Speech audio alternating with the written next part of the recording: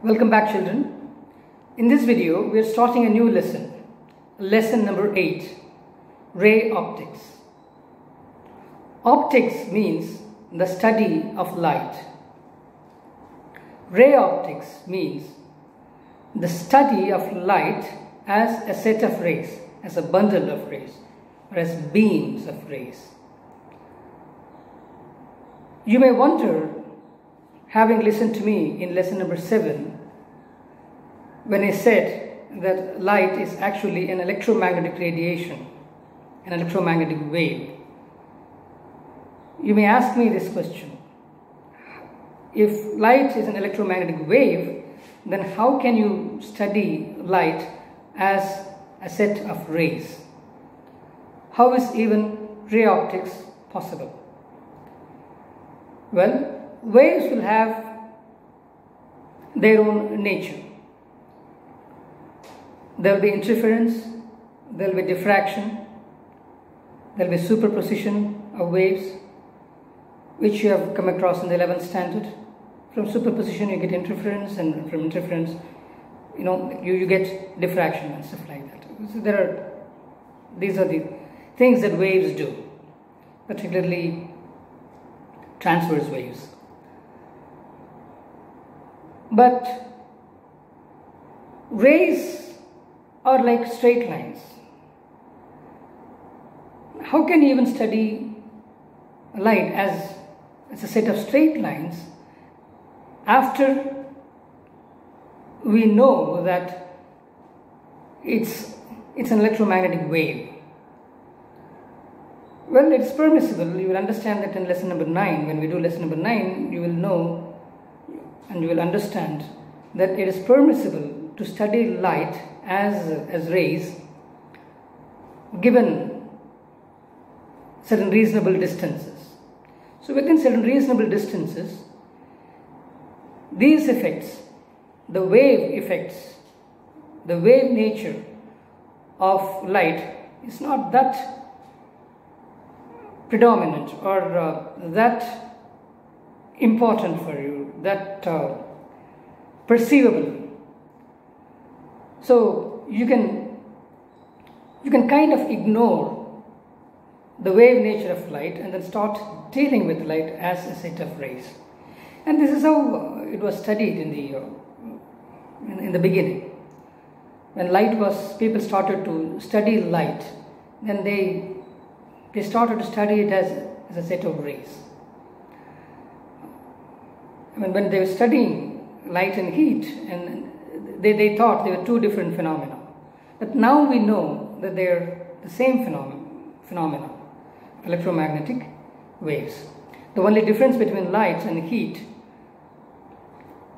is uh, the frequency range at which you, your body can can sense these two things. The difference between light and heat is only in the frequency. Heat is infrared electromagnetic waves and, and light is in a certain range, the visible range. It is like the receiver difference. Light can be perceived by your eyes. Your eyes act as the receiver the antenna for light, light.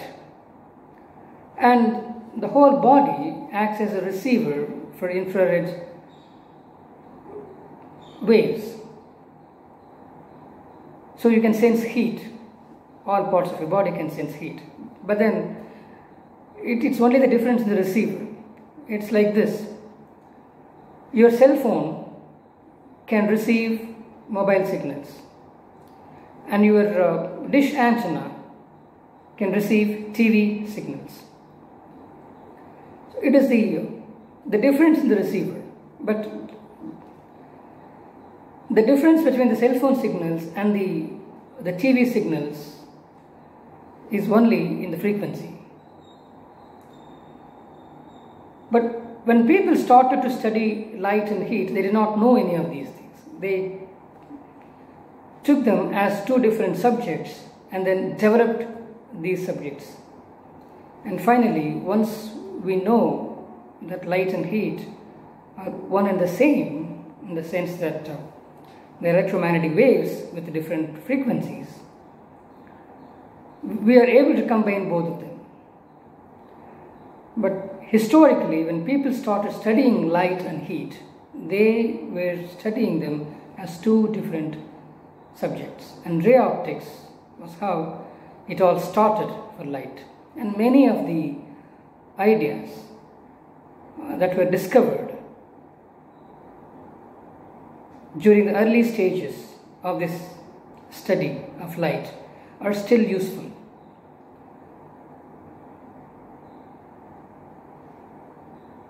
So, as I said, we are justified to study light as a,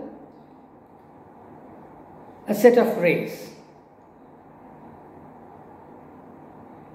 You will come across something called Fresnel distance later in, in, in, lesson number 9 and when you come across that you know, yeah, you're justified. Even though you study it as a set of rays, nothing is going to change much.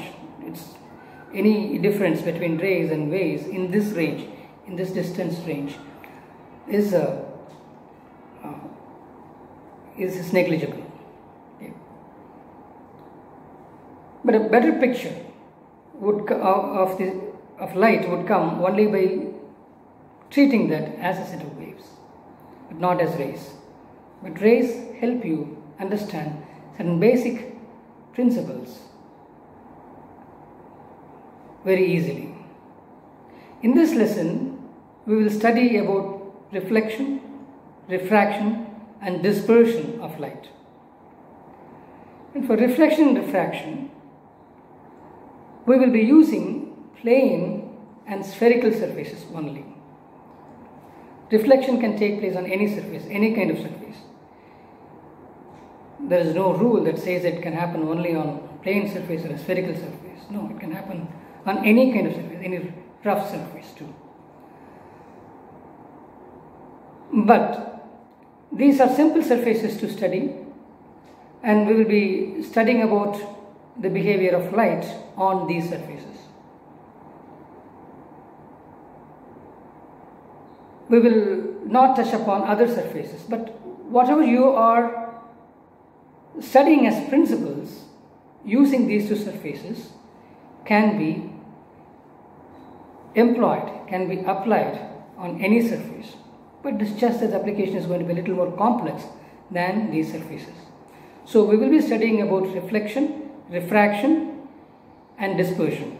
And the surfaces involved would be plane surfaces and spherical surfaces. This is what we will be doing in this lesson. Let's start with the law of reflection. So you have a ref reflecting surface. Let me take a plane surface.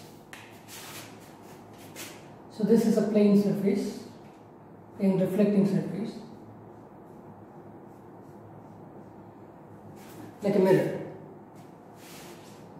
If there is a ray of light that comes and hits here at any point, doesn't matter which point, on the surface. What hits here, it's going to reflected. So because talking about ray optics, so there is a ray which comes and hits this plane surface and then gets reflected off of the surface. This ray is called as the incident ray.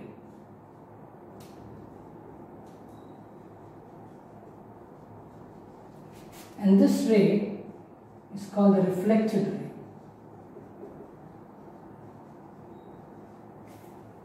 Okay, now the law of reflection tells you how these two things are related. The law of reflection tells you this.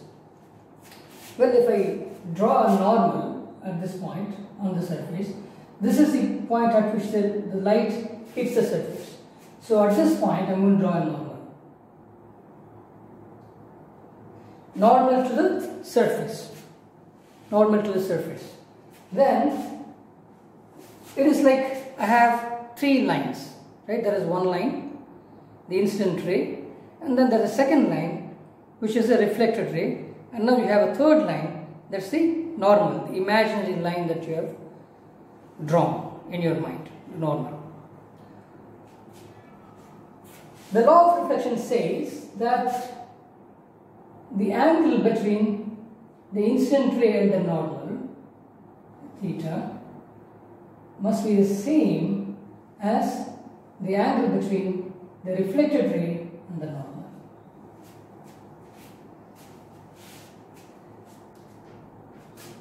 The incident angle is equal to the reflected angle.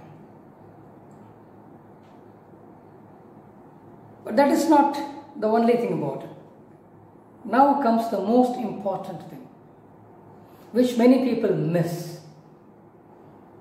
This everybody knows. I, if you call this as I, theta, and if you call it as R, I is the incident angle and R is the reflected angle. So, everybody knows that I is equal to R. But what is important in this is the incident ray and the reflected ray and the normal must lie on the same plane. Many people misunderstand this. When I say this incident ray, I'll call this as capital I, and I'll call this as capital R, and then I'll call this as N. When I say I R and N lie on the same plane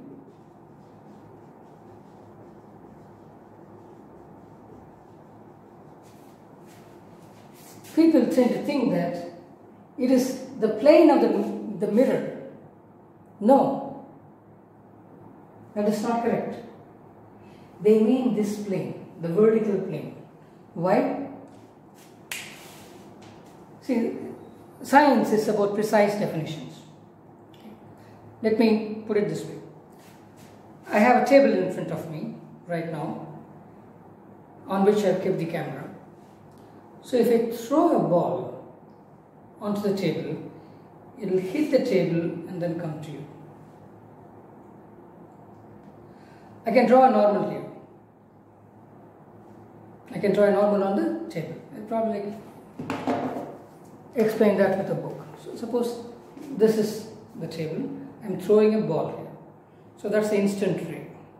The ball comes and hits here and then it, it reflects.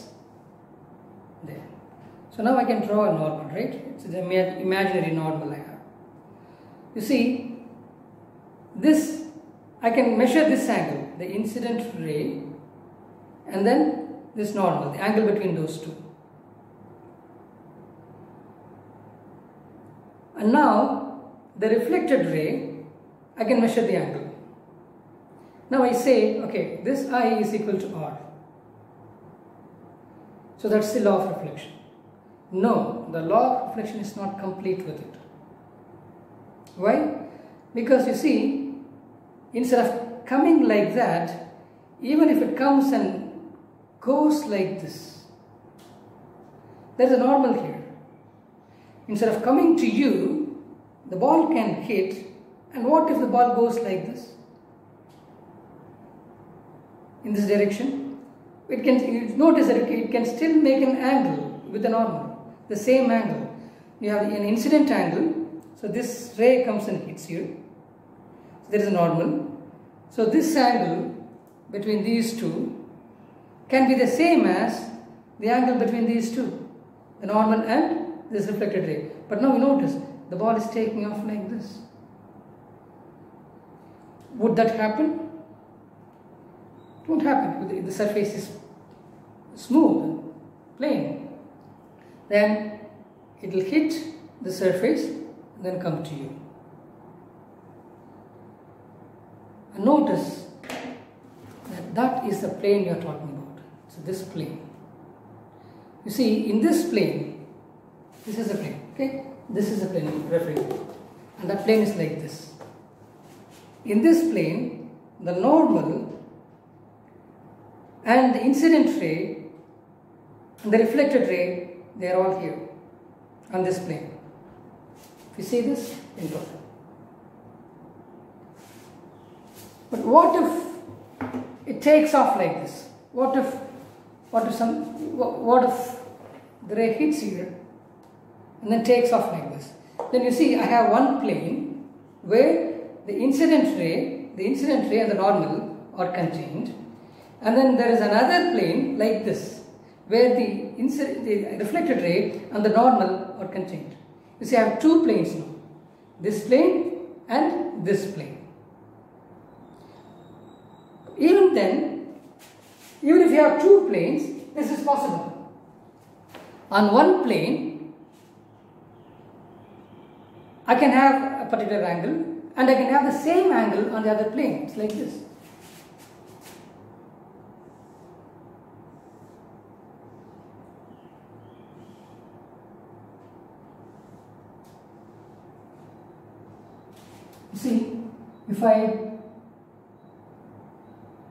if this is there are two planes you can see it right? This is one side and then it's another side so two planes you can see it.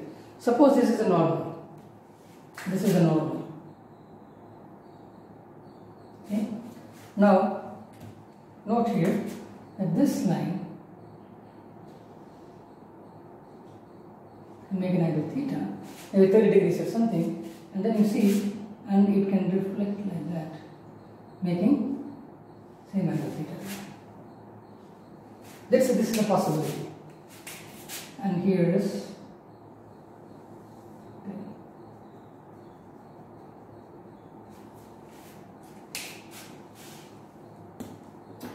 okay. So this will not happen. So what should you have? When I have a plane like this, this plane should continue like this.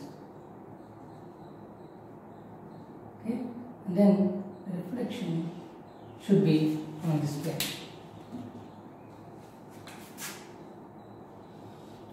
So this must be the same theta. So this is single plane. That's what I mean here. So this is the plane.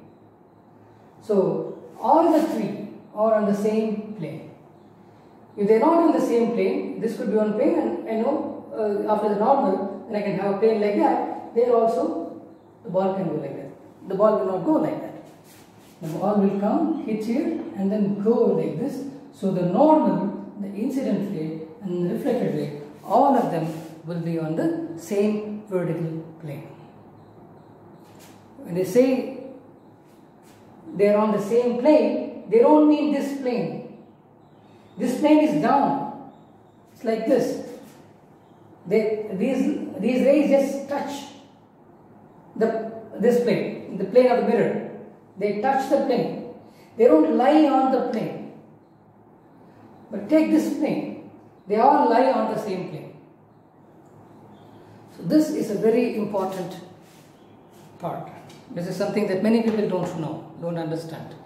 They think when they say the incident angle, the normal and the reflected uh, incident ray, normal and the reflected ray lie on the same plane, they think it's a plane of the mirror. No, those rays touch the plane. They don't lie on the plane. But if you take this vertical plane, then they all lie on the same plane. So this is the plane we're referring to. So that word is very important. The, that part of the definition is very important. The incident angle is equal to the reflected angle that everybody knows and the incident ray, the normal and the reflected ray must lie on the same plane. And that plane is not the plane of the mirror, it's a vertical plane. If it is not so, then if I throw a ball, it may come to you or it may go like this. In both cases, it can meet this I is equal to R condition. But it's not a complete definition. The complete definition is this. The complete definition is I is equal to R and I, R and N lie on the same plane. This is the complete definition of the law of reflection. Don't stop with this. So we have the definition. Include this. This is very, very, very important. And when you include it, remember that this is not the plane of the mirror. It's a vertical plane. Think about it. Before we proceed, I want to talk about the sign conventions because sign conventions are going to make our life a little easier. Why do you even need sign conventions here? Is because if you don't have sign conventions, if you just take the distances as they are without the signs, then for different images, you may end up having different equations for focal lengths and other things. But if you're going to use sign conventions, you will be having only one equation that will handle all object image conditions. And that is the reason you will be using the sign conventions. I'll explain that to you a little later, but let me go with the sign convention now. And when I do a couple of derivations, then you will understand why sign conventions are important. Okay. Uh, so this. Um, suppose I have a, a spherical mirror. Okay, we'll only be taking spherical mirrors. Okay, and this is the axis of the mirror, and this point is called as P, the pole. Hmm? Like that. So if I have an object here, an object here, and light will come from the object and then hit the mirror, right? The light will travel in all, all different directions. So I'm uh, I'll come to that. So different directions. So like the light will come and hit you. Okay, parallel line, and it can probably go like that. All this you know from the 10th standard. I'll explain all that again. So,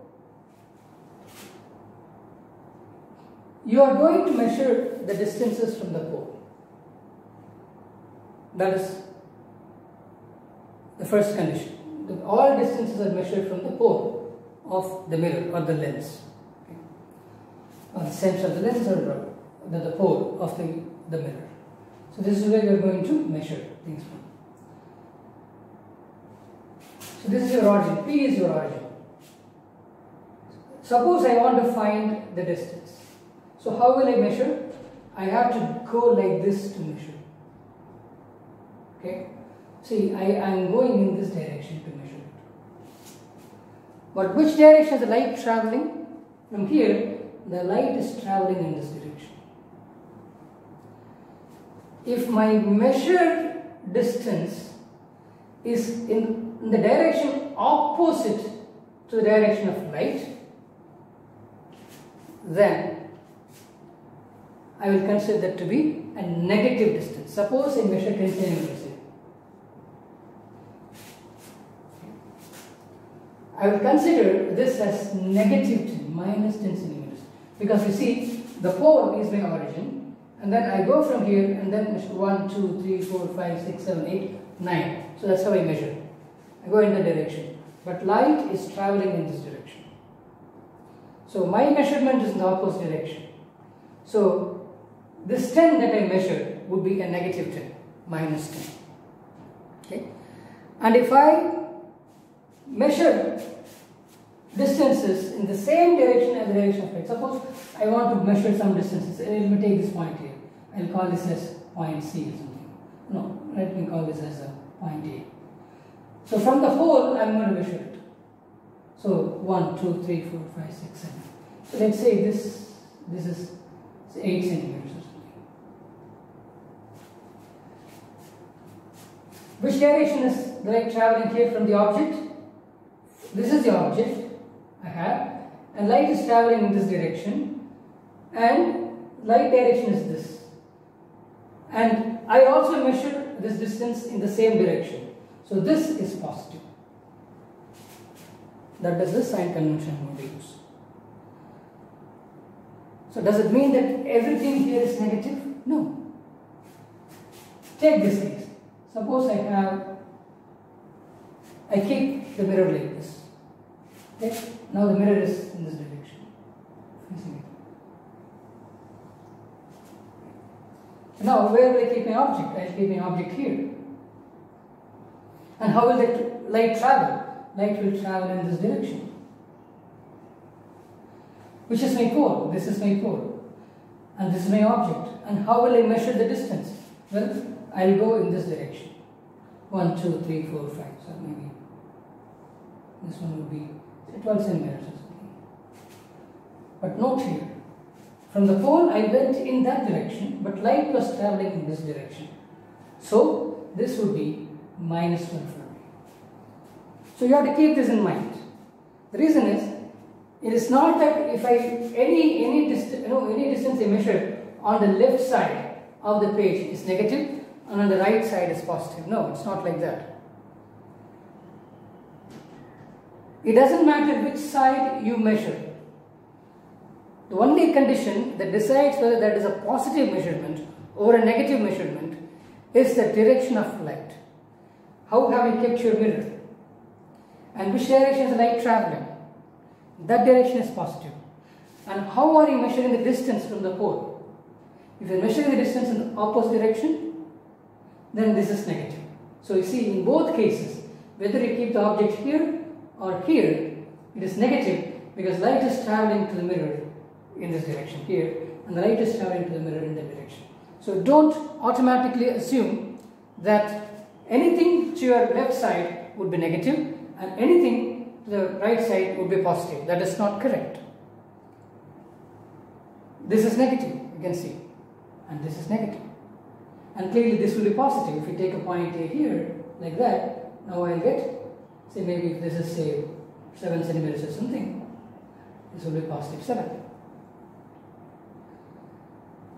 That is about positive and negative when you measure distances. And what about the heights? I say if you have a the central axis here, the mirror, anything above the central axis is measured positive. Say 2 centimeter height. So okay, 1 centimeter, 2 centimeter. How did I measure it? I measured it upwards, above this. This would be positive 2 centimeters right? Suppose it, it forms an you know image somewhere here. Or maybe something like this. So I get I get an image here. Object and then this is image. Right? So this side would be maybe one centimeter or something, but now this would be minus 1.5 centimeter or something. So you take the central axis, any measurement above the axis in the vertical direction is positive. Any measurement below the axis in the vertical direction is negative. And when it comes to horizontal directions, you have to consider the direction of light first. The direction of light is positive. And then you are going to measure the distances from the pole. You are not going to measure it from O. And if you measure it from O, what will happen? O to P will be positive. That, that cannot happen. You have to be very careful with the sign conventions. This is from where you are going to measure your horizontal distances, P. And if you go in the direction of light, then that is positive. If you go in the direction opposite to that of light, that is negative. So P is your origin. And when it comes to vertical distances, above the axis is positive. Below the axis is negative. Hope this is clear to you. And we have to talk about something called as paraxial lines, paraxial rays.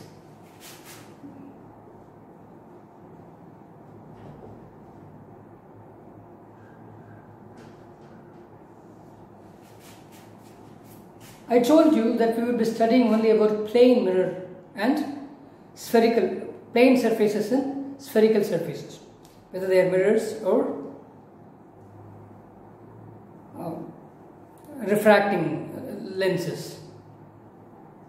Okay, so the suppose I take this mirror, okay?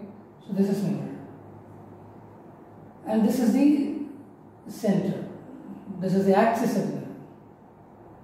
Okay, so, so half the mirror is below, half the mirror is above, so that's the axis of the mirror. Okay? Now, what are paraxial rays? The paraxial rays are rays which are very close to the axis and they are almost parallel. They make very small angles with this axis. So this would be paraxial line.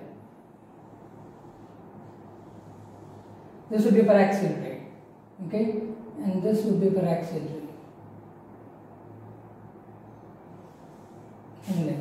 This would be paraxial ray. So these are rays which are very close to the axis.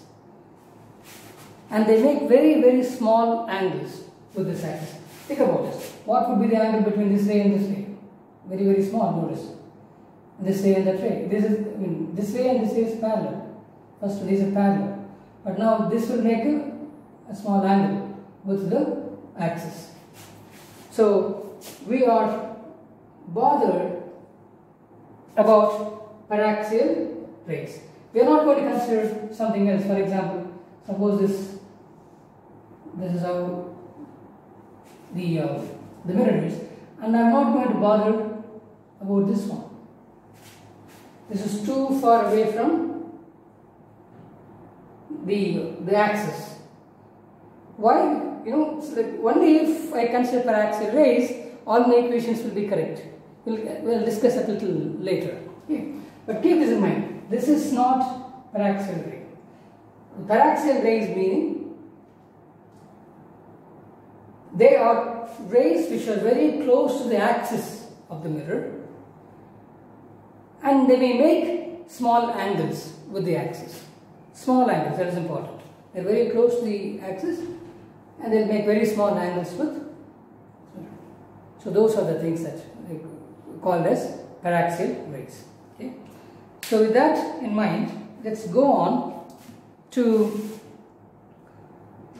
to derive an expression for the focal length of a spherical mirror. Let's come up with an expression for a, a spherical mirror, the focal length. Let's say uh, this is the sphere Okay, this is the sphere. So what I'm going to do, out of the sphere, I'm going to cut a portion. Maybe I'll cut this portion. So this is my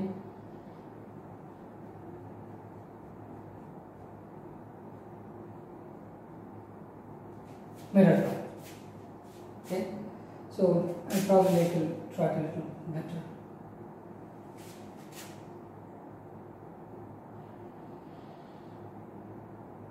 something like this. This is my mirror.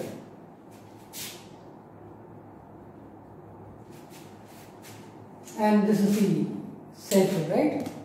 The center of the sphere. And if I draw a straight line, then that becomes the axis, right? Becomes the axis. So this is going to be my P. Okay, and this is my center. I'll call this as C. So this is the mirror.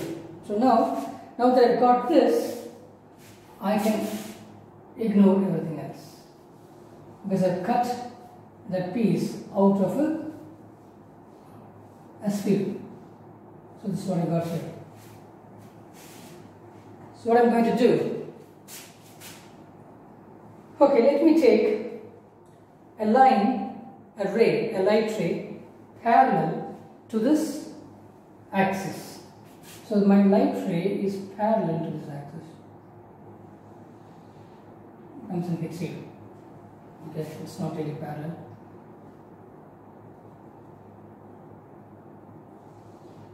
Something like this. What is it going to do?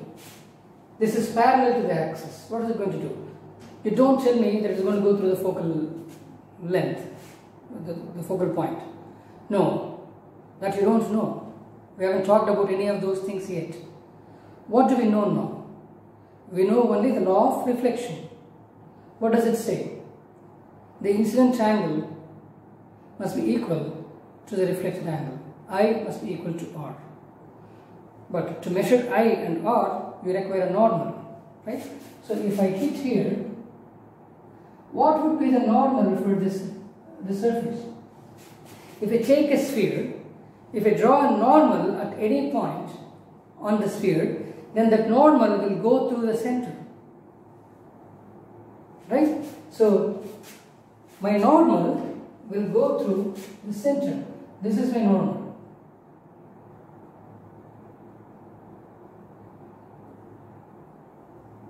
That's, this is the radius. Okay? So, this is the point M at which this ray hits. And this is my normal. Okay? my normal, which goes through the center. That's the radius actually. Normal to a sphere, nothing but the radius extended. So, what you get. Now I, I have, this is my I, or I'll call this as theta. What do we know? This is I is equal to theta. Then it must reflect from that position. When it reflects, then the reflected angle must be equal to the incident angle. So I should have another theta here. This is my reflected ray. Okay, so this has gone through this point on, this, on the axis. It's gone like that. Okay, that's all I know. I don't know anything else. I don't know about focal length, nothing. Focal point, I have no idea. This is all I know. If a ray comes and hits here at any angle, doesn't matter, then the incident angle must be equal to the reflected angle. I've taken a parallel ray, it hits there, then this is what you get. Okay? Fine. I'll call this as a point F I'm not saying what it is. Now let me take another ray. This ray goes along the axis itself.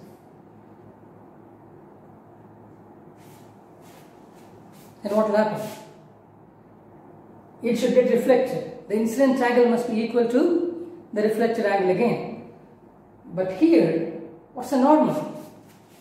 Normal is this, this radius. The normal is this. So there is no angle between the incident ray and then the normal. So 0. So it will get reflected right back. So it will retrace this path. It will go hit here and it will come back in this direction. You see, as this ray comes back, notice that it meets this ray in this the same that point F. So this junction point is F. And I can do the same thing for anything else. Okay, I can probably take another ray, this time like this, another parallel ray, and again I can draw another R. This will be normal now. Then this angle, maybe some, some other angle, and, and then it will come back and as it comes back then it will go via this. You see that. The law of reflection has to be obeyed at all points. That is all we know. Light doesn't care about, you know, after hitting here, then I should go through the focal length. No, it doesn't care about that. All it knows is, yeah, this is how I travel, I hit here, then I should reflect and I should make the same angle. That's all it knows okay, if at all it can know anything. So it goes in, it, it hits here and then goes through this focal point. And then and I take another ray and goes to that point. So it, this is a junction. This is where all these lines join. So I call this now as the focal. Okay, so now let's see. Um, let's do this. So let me draw this stuff.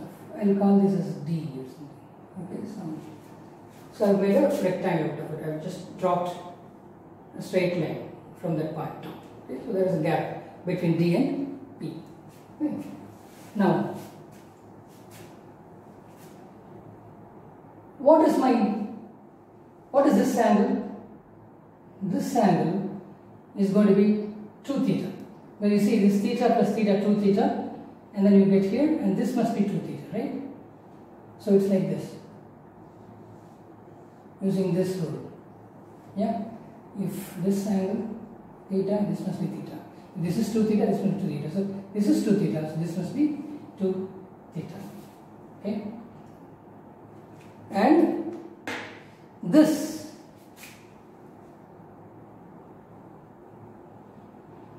this is normal. So I want you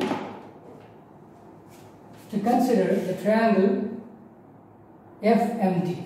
The triangle FMD. What is tan 2 theta? Uh, tan 2 theta?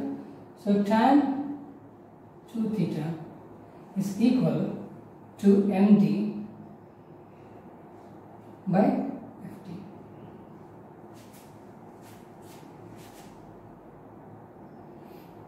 Okay?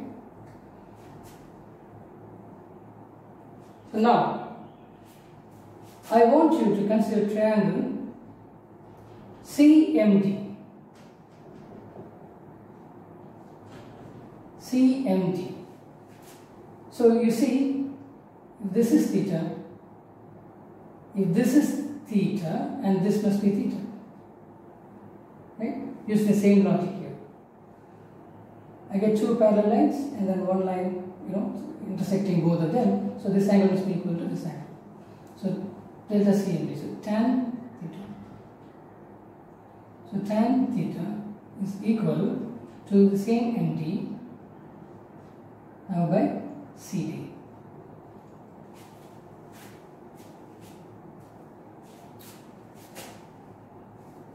Now, now comes the significance of paraxial lines. If, what do we say as paraxial lines? Lines which are very close to the axial, the axis of the mirror and making small angles. So no, notice, if this line is very close to this axis, then this angle theta will be very, very, very small. And this is why we even define paraxial lines. So, if you're talking about paraxial lines, then these angles will be very small. Because those angles are very small, you can see this, right? For this line, this was theta. But then when I took another line, this angle was smaller than that. So the closer the line gets to the axis, then the smaller this angle will become. Theta will become smaller and smaller and smaller as this as these lines come close to the axis. So you are concerned about the paraxial lines. So all your equations will be applicable only to paraxial lines. That's, that's what I'm coming to say. So now, because they're paraxial lines, because they're paraxial,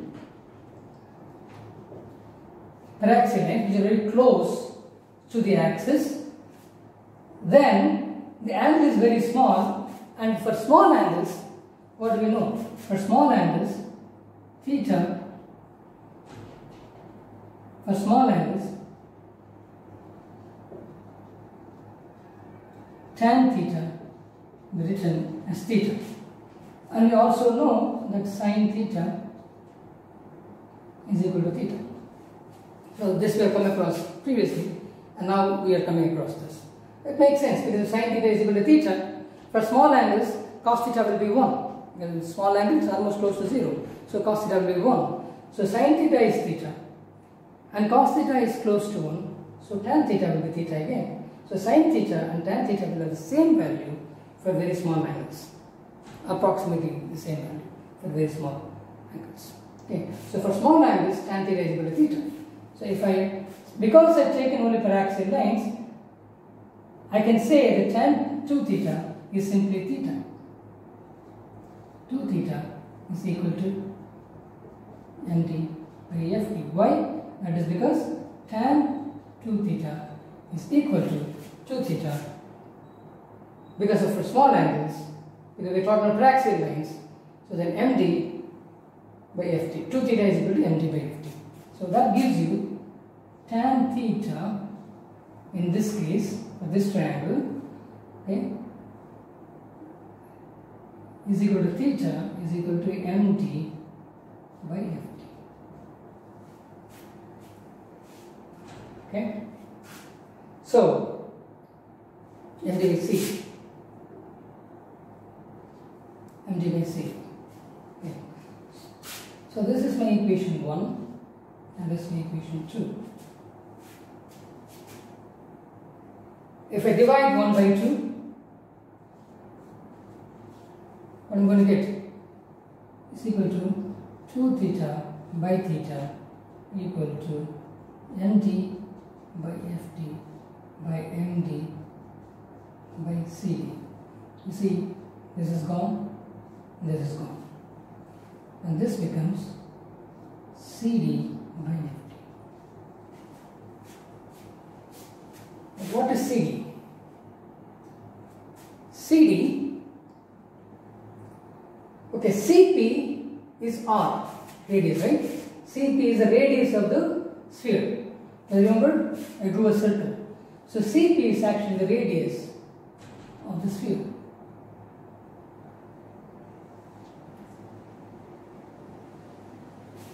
Radius of the sphere.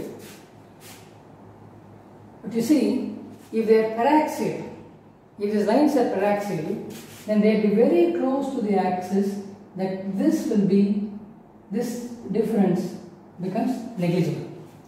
Clearly, if it took a, you know, took another line, you know, like suppose my mirror is like this, really curved, really curved. Then if I take this line, and if this is my outer, uh, you know, like the, the, the circumference is here, the periphery is here, and this point I take, then there will be a big gap. But if they are very close, very close to the axial line, then this distance can be ignored.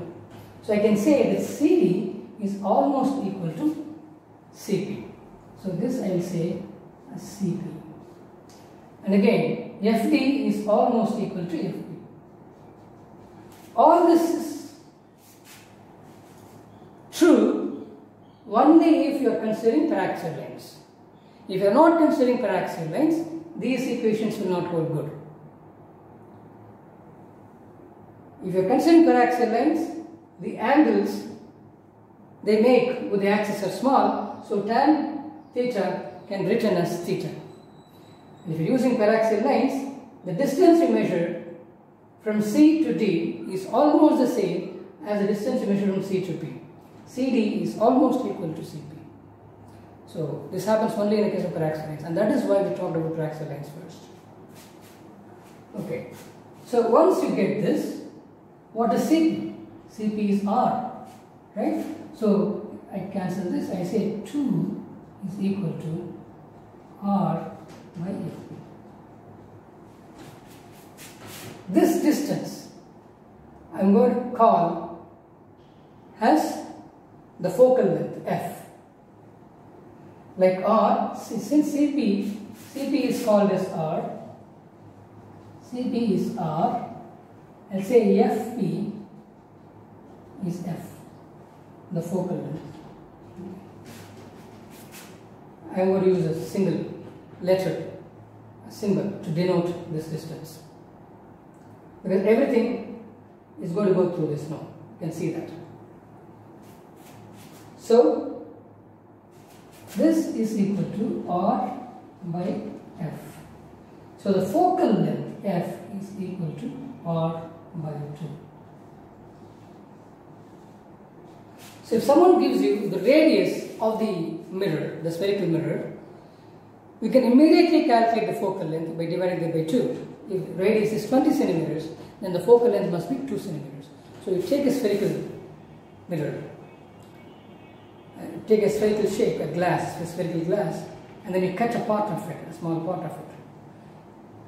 And if you know the radius, you know that if you silver this glass on the other side, then you get a mirror, then that mirror will have a focal length of r by 2.